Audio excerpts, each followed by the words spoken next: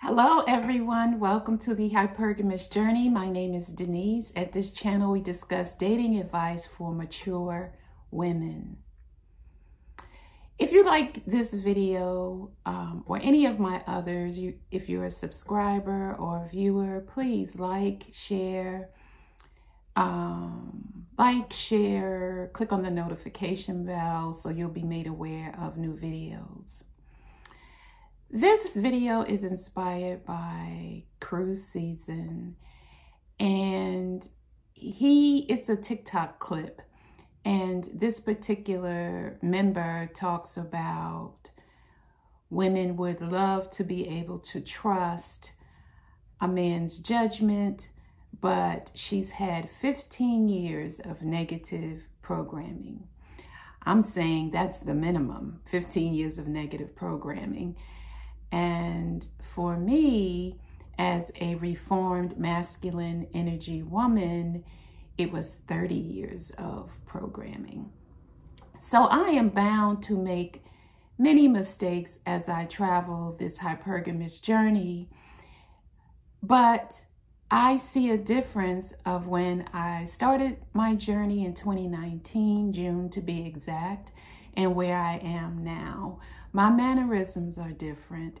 My voice is different. I've worked hard on trying to raise the, to make my voice sound softer and more melodic. And I like the way it sounds. Before I used to sound like, well, you could look at my previous videos like last year and you'll be able to see how I, I've just evolved in terms of my outward appearance and maybe even terms in term I think in terms of my delivery of my message on my channel. It's been a year. Oh man, I started in September 2021, so it's really going on two years. Time flies when you're having fun, right? So yeah. Okay. So he talks about 15 years of of um, of programming, and 99% of it is negative programming. So most black women in my era and today, we didn't grow up with our fathers. I had my stepfather in the home, but a lot of us didn't grow up with our father. So if we don't trust the people in our nuclear family or family of origin, if there are no men there, then it's hard to transfer trust to a, to a man outside of our um, family of origin or the family we grew up in if we don't have care and understanding and protection from our family of origin or our uncles or our brothers if they're not there or they abuse us, tease us unmercifully, unmercilessly. Um, there's nothing, I know siblings have, you know, um, sibling rivalry, but I'm talking about the, the kind that borders on abuse. You know, he just doesn't like you and he is doing everything in his power to make your life miserable. I'm talking about that kind of sibling rivalry. So it's hard, you know, you, you don't trust yourself, you doubt yourself. So it's hard to transfer that trust to a man. And as an adult woman or young adult woman, if you don't trust yourself, you don't trust your intuition, you don't trust how you look, you don't trust that you're good enough, then how are you going to really um, healthily transfer trust to a man in a romantic partnership? First of all, you have to have trust within yourself that you can make the decision, that you're good enough, that you're worthy enough for whatever you want romantically. But there's so many in our family that's telling us that we are not worthy of that trust. Um, to trust ourselves, that we're not worthy of what we want, when it comes to romance and marriage.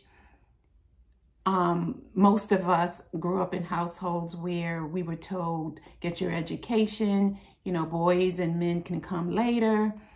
And no one said, well, you can do both and showed us a model of how to do that. And they didn't because they didn't know how to do it. It to, in their minds, it's one or the other, meaning basically our moms and the women in our family.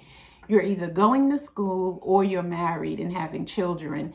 You can't do them simultaneously. And if you do, not effectively. And so they only, they only, they meant well for us.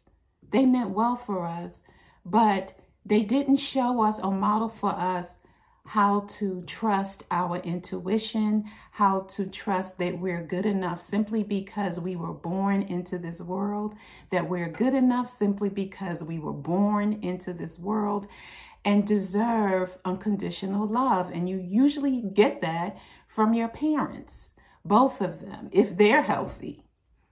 But if they're not, and your mom is a single mother or was a single mother, then you try, she is supposed to try to give that to you.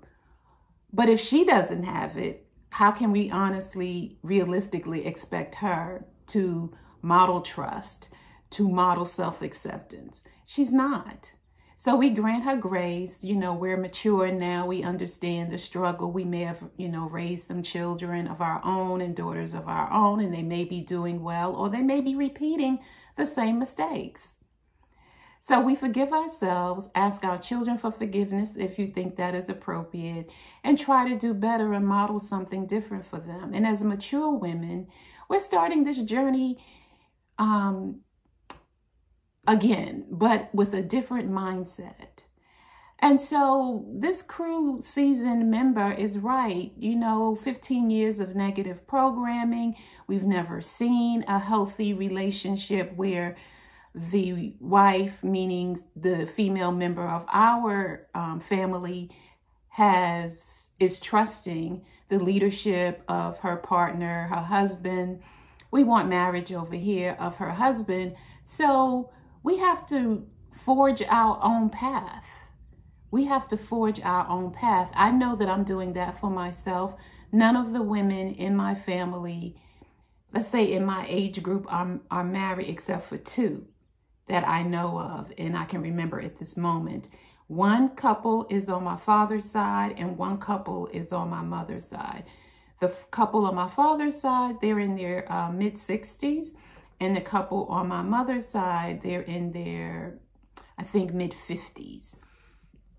So, and then I do have one of my former dance teachers from middle school. We're friends. Um, she's been married for 50 something years. Okay, so I have two people who model that. But um, I'm not around them. They're in different states and cities. So I'm not really around them to see if they take the leadership of their husband, even though I think the couple who is my, um, both of them taught me really in junior high school or middle school, her husband and the wife taught me there. Um, I think they have, uh, uh, uh, they were both teachers. I had, think they have a relationship where she basically follows his lead like 90% of the time. So I do have that model for, for them. But um, the kind of marriage that I really, really want, I don't have anyone to model that for me. So I have to take, read books, watch YouTube videos, and when the time is right, maybe take some classes or create my own in-person online class regarding femininity and my journey and um, what steps women can follow to get to that point. And it's really for mature women because mature women have a different set of circumstances that they're working with um, age, finding their style, feeling good about themselves. And these things probably can go for younger women as well. But we have resources that we're not trying to lose to a deadbeat or someone, um, at, what does they say, a wolf in sheep's clothing. So we got a couple of things that are a little bit different from younger women. But if you like this video or any of my others, please like, share, subscribe. Don't forget the affirmation journals on Amazon and beautiful colors. and also um, the free dating guide. The free dating guide has about 20 activities that you can do as a woman who would like to get started dating again. And basically, these are solo activities to get you back in touch with who you are, what you like, what your style is, and getting into a different mindset. Sometimes we can think about a thing, but then we have to do it. So the action and the thought, the thought creates the action, and we must follow through on the action, right? So remember, hypergamy is a journey. It is not a destination. Thank you for watching, and I'll see you in the next video. Bye.